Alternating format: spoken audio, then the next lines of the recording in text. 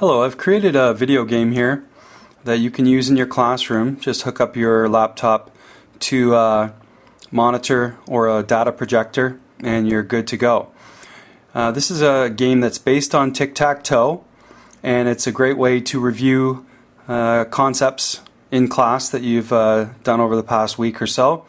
Uh, it's a question and answer game and it's for two players or two teams. Chances are you'll use uh, two teams. You'll divide the class up into two, uh, two teams. Okay?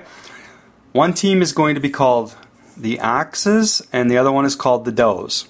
So we've got tic tac toe, X and O. So I decided on a cute name called Axe and Dough.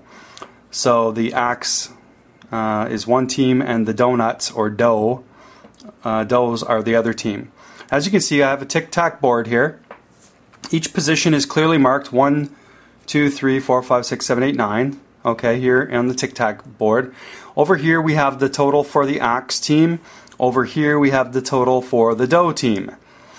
And over here we have a timer. Okay, right now the timer's set for 20. I'll show you how you can customize that for yourself depending on uh, your preferences. For the timer here I have a start, stop, and a reset button um, if you need to use those. Here I've got the yellow area where the question comes and then the answer. Down here we clear the board.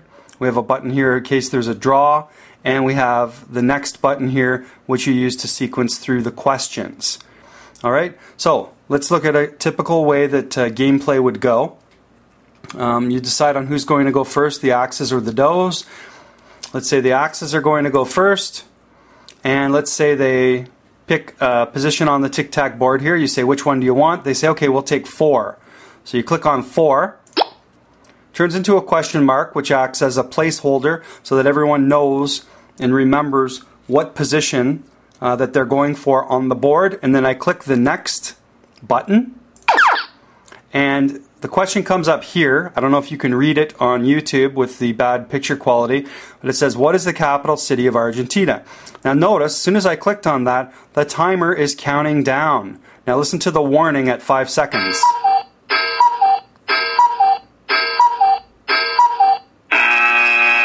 And then when it hits zero, we get the buzzer, and the answer must be given before the buzzer goes. All right? Uh, the cuckoo clock that I have there is a warning to let them know uh, that they only have five seconds left, and it ticks down till the buzzer. To get the answer, we just click the next button again, and we can see that the capital city of Argentina is Buenos Aires. Now, if they were to have answered the question correctly uh, before the timer ran out, all right, and usually what I will do so I don't have to listen to the cuckoo clock and the buzzer, if they give me the answer, and I have to. I'll tell you that I accept the first answer that they give, uh, and that will be uh, their final answer.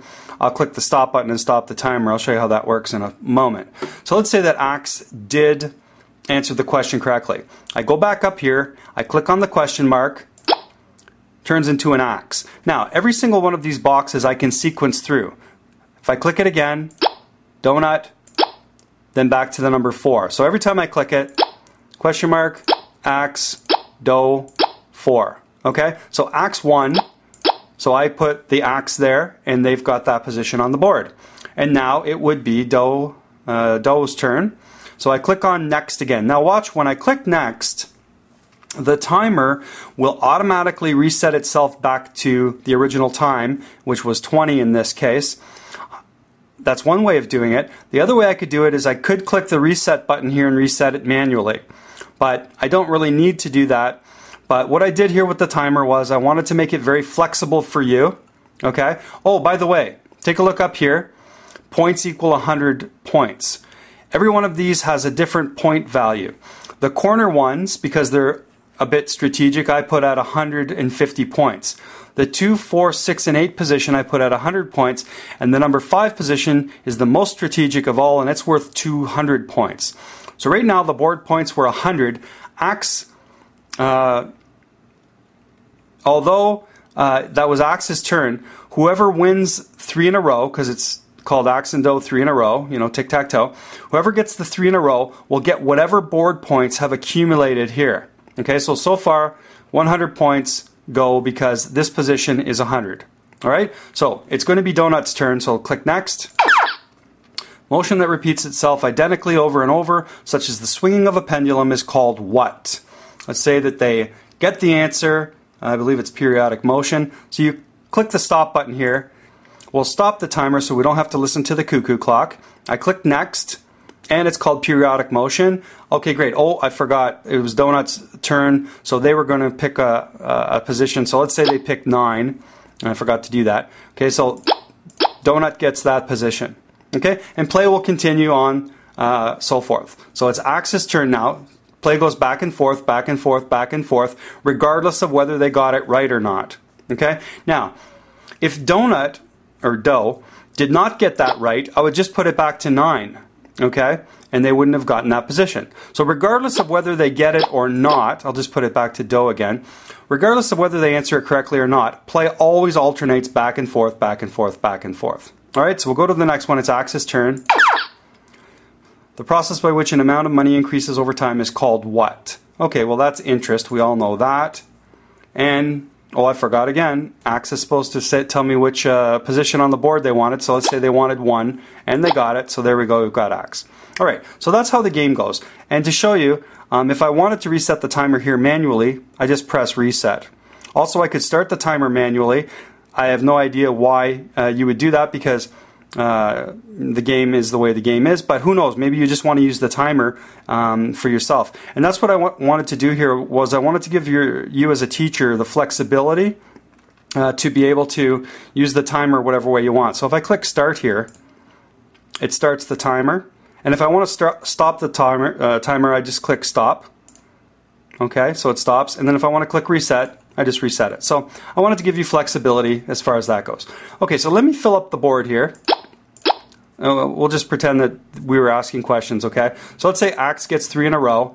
That's 550 points that the board is worth, and Axe gets all these points. I click on the axes over here, and that deposits the 550 points into the account of the axes. So at this point, the game is now 550 to zero. I click the clear button, and it clears the board and we keep playing. All right? And play will just continue and continue until we're done with class time. Now, let me show you how you enter your own puzzles. Okay? Here's a notepad uh, document. Hopefully, you can read it, but I'll explain it to you anyway. The very first number in the notepad document is going to be your timer maximum default value. So here I have the number 20, and that's what my timer's at. If I wanted to have a, a default value of whatever else, I would just enter that. Then the lines after that follow the same pattern. Question, answer, question, answer, question, answer, question, answer. So you can very easily enter your own questions and answers, as many as you want, just by simply typing in to this notepad document. So it's very, very easy to use, and uh, that's what I wanted uh, for you to have. Okay? So that's my little tic tac toe, axe and dough three in a row game, and I hope you enjoyed the video, and have a great day.